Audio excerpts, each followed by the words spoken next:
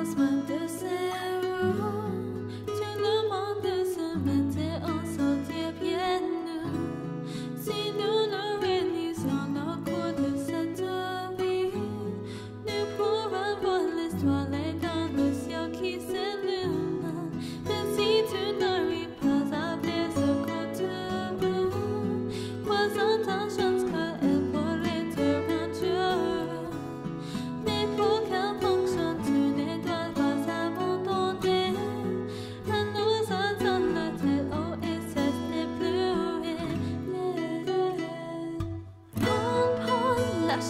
fun, es la music tan potente.